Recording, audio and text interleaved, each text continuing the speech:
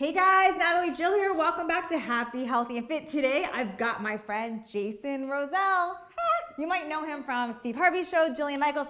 I don't know, his resume is so long, I don't know that I can even, I can remember it all. I'm you know him try- from everywhere. I'm just trying to compete with you a little bit. Look, everybody knows her from the World Wide Web. This is how I found her. I'm like, holy crap, I have to meet the one and only Oh, Natalie Jill. But listen, the thing that we had so in common that I thought I've got to get him on here and share this with you is we both had the weight loss and dealt with the loose skin problem, skin stretch marks, skin and stretch marks. A while back, I shared a video with you guys that showed what happens with the skin after you have a baby and lose a lot of weight. However, what I couldn't speak on was the stretch marks or losing a lot of weight that's not related to pregnancy. And that's where Jason comes in. And he's a guy. That's another thing I could not be. I Yeah, not be a I. I always didn't look like this. Like I was telling her on the phone, um, I was 75 pounds overweight, reaching 225 pounds. So it was my whole life. It wasn't like a lot of people that gain weight and lose weight until I was 21. I was that fat guy watching TV, eating Oreo cookies till three o'clock in the morning. So it was good, but you didn't feel good about yourself. Absolutely. And it got to the day where I, I, I couldn't even see anything besides my fat stomach. Yeah. So I started doing simple workouts, being that, you know, I'm also a music artist, mixing my music with simple 10, 12 minute workouts, you know, losing little by little. And 75 pounds later, now I'm helping the lives of thousands of people online and, and on television, which I'm grateful. It's amazing. But I also have a lot of extra skin.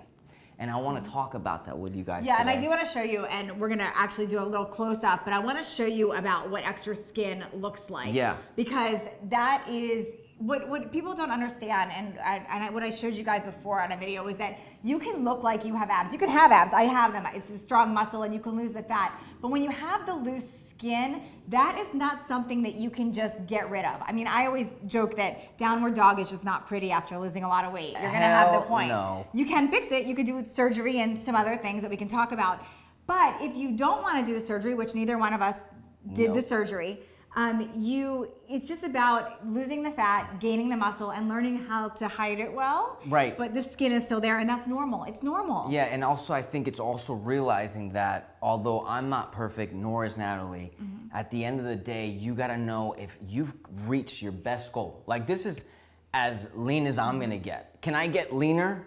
Yes, I can. Can you get leaner? Mm-hmm. Yes, you can. But then that also produces even more looser skin. Yes. Which what I try to tell people is once you've reached your best level, know that you can look in the mirror mm-hmm. and say, I look awesome, I feel awesome. And most importantly, I didn't do this with surgery. Mm-hmm. You don't have scars, and we're gonna get into this, all mm-hmm. the things that lipo and tummy tucks can do that can really harm you for So the your experience was different than mine because you lost it from a lot of lifestyle weight. It wasn't a pregnancy weight, so it was kind of all over. Right. Did you ever think about doing skin surgery? What was the pros and cons, and, and what's your experience on that? What do you know about that or not know? What helped you with your decision?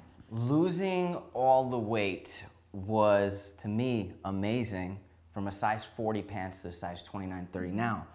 Back then when I lost all the weight, I didn't have any muscles. Problem was I was saggy everywhere. Mm-hmm. And I was my arms were just skinny and soft, skinny fat. Yes.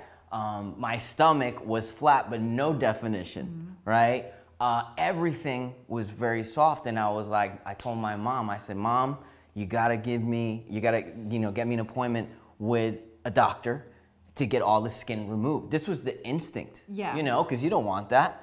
But then, after like doing my research on my own, because I try to go to trainers, and all all trainers try to do is push you for that moment, get out. Most people don't care. It takes one to know one. I actually ran into somebody mm-hmm. that used to be really overweight, and he had muscles, and I said, "How'd you do this?" He's like, I built the muscle underneath the mm-hmm. skin mm-hmm. to fill up the extra skin, and it didn't make sense to me. So I literally was weighing at one point 138 pounds, right? And I'm not a tall guy; I'm barely 5'6", right? So you do the math. I was like, I got so skinny, and it was like gooey looking, mm-hmm. everything. And then I started doing weights, but very negative weights, and building muscle. And all of a sudden, I start seeing definition all over my body mm-hmm. and using the extra skin to my advantage. Make it a positive. And that's honestly what I did. I can easily get lipo if I mm-hmm. wanted to. I could have done a lot of things. But let me tell you, after seeing friends and clients that I've worked with, they lose a weight. And once they gain it, especially the lipo, they gain it in different areas. And you can see the spots. And I'm like, I You rather. know, that's an interesting concept, and I'm certainly not a plastic surgeon. I don't know, but I, I guess from what I understand, and correct me if I'm wrong, if you have lipo, you're removing the fat cells from an area. So if you gain weight back, you're gonna, it's not gonna go to that area, but it's gonna go someplace else. Absolutely. So if we suck it out of, say, your lower ab- abs right here, right? And we put it in a different area, when you gain the weight, you're gonna get dimples as is one of the side effects in the back of your legs. A lot of people do it different ways. But for me, I can sit here all day and flex for a shoot, but as soon as I sit down, I still have extra skin and I can't do mm. nothing about it. And it's not, and I wanna, this is a great thing to tell the audience how to know if what you have is fat or skin. Yes. How does somebody tell? Because I know when someone sends me a message and says, "I how do I get rid of my lower body fat, Yep. lower belly fat?" That's my first question. Is it is it fat? Is it skin? Because there is a difference. How would you gauge telling somebody that? Well, usually what I do is uh, like, you know, both your fingers, your thumb, and next, like literally grab. Like if you zoom in here, you'll see this is all skin. I'm pinching. I can feel my fingers through my skin. There's no fat there, right? I cannot say the same about my arms, but we'll just. we Well, what I'm me. saying is like I'm I'm I'm nine percent body fat, so that's pretty low for a guy. It's pretty It's you know yeah. right. But same thing goes for the stomach. So let's see here. If I pinch, right, this is skin. There's like when you feel fat, you would feel granules of fat. This is just mm-hmm. skin that's sitting there. I can't do nothing about that. As you can see, this is my core. I have mm-hmm. abdominal muscles, but this is just skin. And you can't focus. And what I'm, t- I'm trying to tell the world or my clients, don't focus on that extra skin. If you look in the mirror, you look 90, maybe 95% Mm-hmm. better than society. Who gives two F's if you freaking have a little Sure. bit of extra skin? Now, don't get me wrong, because a lot of you out Mm-hmm. there watching say, well, I have a lot more skin. That means we have to determine do you need to lose more fat Okay. or have they lost enough No, in fat? fairness, because and I want to, I do see people that lose massive amounts of weight, 200 pounds, you know, massive amounts. That there is a lot of skin. I mean, it's just skin. Yep. What would you advise there? Because to me, I would think surgery might be the only If- thing to do with that. as long as they have done everything to their power prior to getting to surgery. Like, let's talk about last resort. I didn't do anything and everything to my last power. I was ready. Hey, mom, I lost the weight. Sure. Let's go to the surgery bed so I can look better naked. I didn't push myself because a lot of times people want the easy fix. Sometimes people don't even want to lose all the weight. But mm-hmm. back to your question, for those that have lost such significant amounts of weight, whether it be from me, 75 to 100, 200 pounds, or even more, make sure that you are actively working out three to five times a week based on your genetics, age, etc. Consult with your doctor. But once you built enough muscle and you're saying, okay, I built muscle, but I still have fat, yes, that's when I say green light. Mm-hmm. You look awesome everywhere else, but you have a lot of skin. You have to do Sure. it. With me, I've accepted, hey, you know what? Who gives a crap? I may not have a perfect stomach, but I'm well rounded everywhere. baby and gaining a lot of weight or just massive weight loss. There's, there's a few things um, that we would, it sounds like we would both advise you to do. The first thing is make sure you've lost the fat that you need to lose. And you do that through the way you eat, eating natural, real, unprocessed foods, Yes. um, and from intensity and training and doing the right exercises. That's the 100%. first thing. You've got to lose the fat, and that means there's a mix of cardio, there's weight training, there's eating right, there's a, whatever you do, but you've got to lose that fat.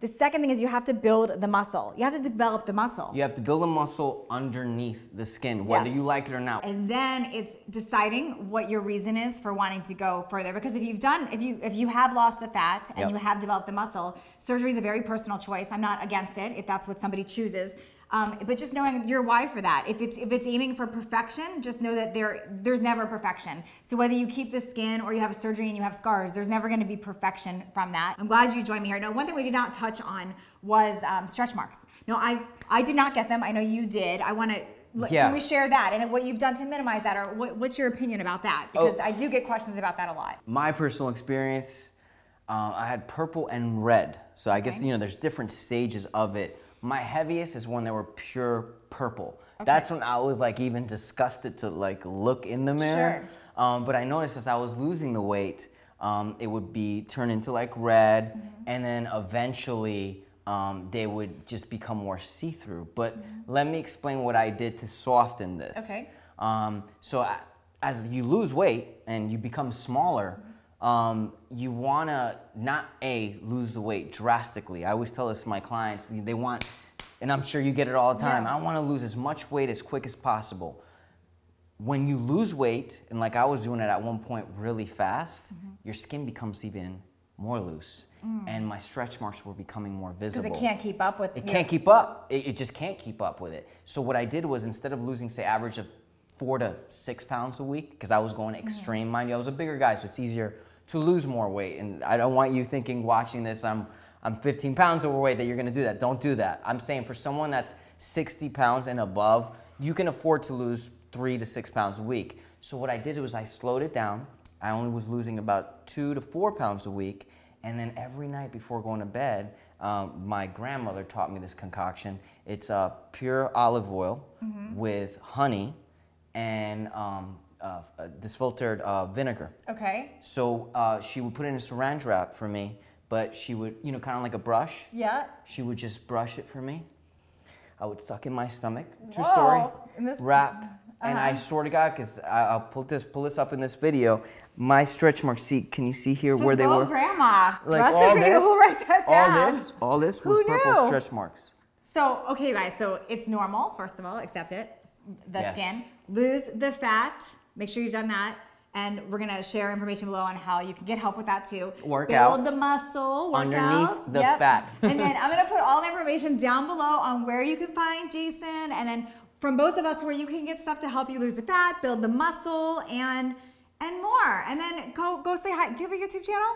Absolutely. Uh, my uh, well, my website has it all. It's calientefitness.net. I can't pronounce that, but let's try to get cal- caliente. Did I do it right? Caliente. It means hot, baby. Oh, I like It's it. hot- hot So you can subscribe to his YouTube channel, see Yeah. stuff from him, find him on through his website, all of his social media. I'm sure he's got like me, All of Twitter, it. Snapchat, Periscope, whatever. I Little can YouTube, Instagram. Facebook, Yeah. Instagram. Thanks, you guys. See ya. Bye.